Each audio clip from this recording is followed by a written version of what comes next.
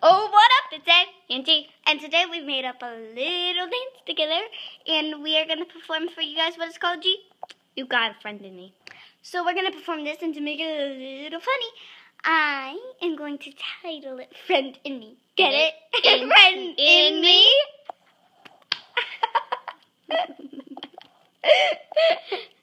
All right. Please enjoy our dance.